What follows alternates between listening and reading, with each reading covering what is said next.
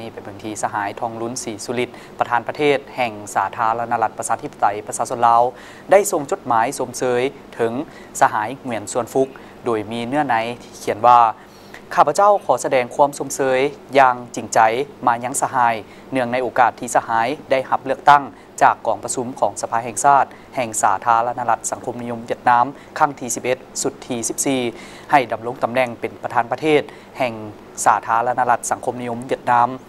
ข้าพเจ้ายืนยันความพร้อมที่จะร่วมมือกับสหาย ประกอบส่วนเข้าในการเพิ่มพูนคูณสร้างสายพัวพันมิตรภาพอันยิ่งใหญ่และเป็นมูลเสื้อฐานสหายไอ้น้อง ความสามัคคีพิเศษ และการร่วมมือรอบด้าน ระหว่างสองพรรคสองรัฐ และประชาชนสองชาติของพวกเขาที่มีประธานโฮจิมินห์ ผู้นำที่ยิ่งใหญ่และประธานไก่สอนพวิหาร